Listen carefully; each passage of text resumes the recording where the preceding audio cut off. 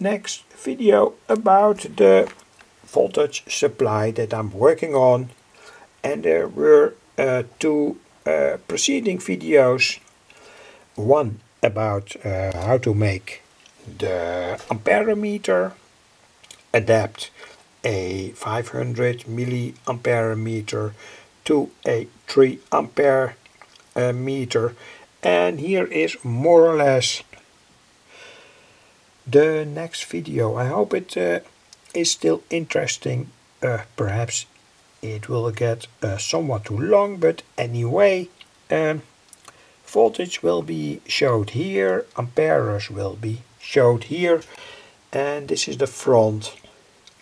Here we set the output voltage, here we have that 6 volts AC, and uh, here we have with this switch as I uh, know, it is a switch out, out of Eastern Europe out of the 1980s, but it is very, very durable, and I will uh, tell more about it later. Here, an, a switch that I salvaged out of an old laboratory e equipment, laboratory uh, device.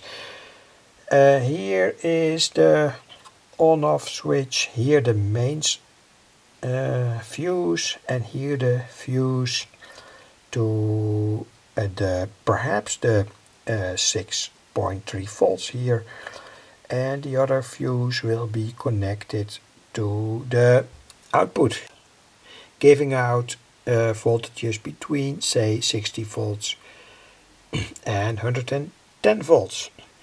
I will flip over now the whole uh, thing. It will surely fall apart certain things will fall, fall apart, but anyway. Well, uh, here's the back side. Uh, the potentiometer that makes the uh, output supply voltage. Here is that switch out of say the 1980s Eastern Europe. It is a very high quality switch and you can see all these say parallel uh, contacts and I'm gonna use uh, this switch in this way that I will uh, say solder all these parallel contacts together to make this switch usable for a higher current, for a high current. So, and I'm absolutely sure that, that with two contacts here you already have say uh, made it to that goal. But anyway uh, perhaps this uh, will work very good on the long term. The meters fall out have fallen out uh, the voltage knob also and uh, here is the earlier showed shunt resistor of the amperemeter uh, of which I have made an earlier video today. Uh, this is only a vlog anyway. Um, here are two say uh, fuses, fuse boxes here is that very high quality potentiometer that you don't need anyway. And here are all the, uh, say, electrodes to the outside of the power supply. It's a good idea to, say, take them all out, wire them uh, outside of this box with a soldering iron and say give them a wire of perhaps 30 centimeters 40 centimeters. And that also regards the other components. And the reason is that when you mount such a front plate into a box uh, it is problematic to make good soldering connections.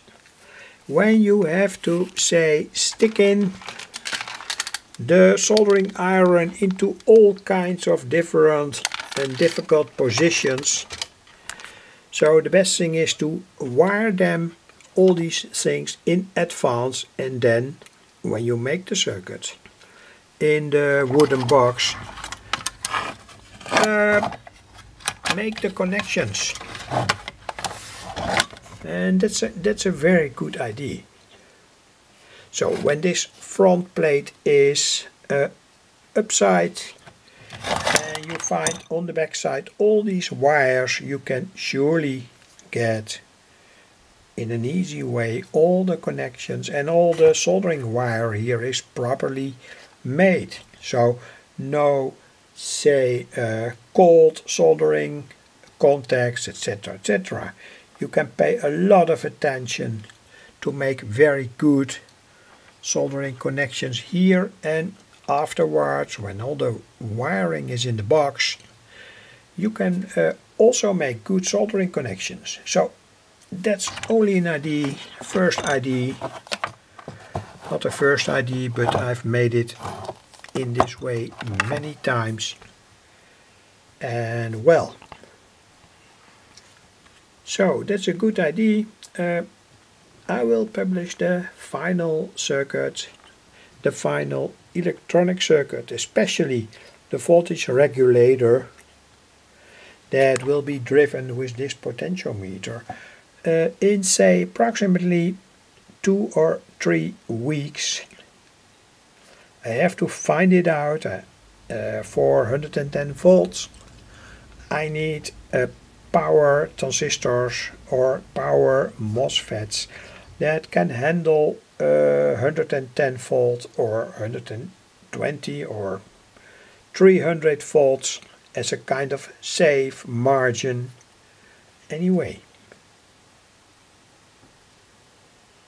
This is an interesting and in my opinion a good way to say make such a power supply and also also other power supplies and then I mean not for 110 volts but for say maximum uh, 30 volts or 40 volts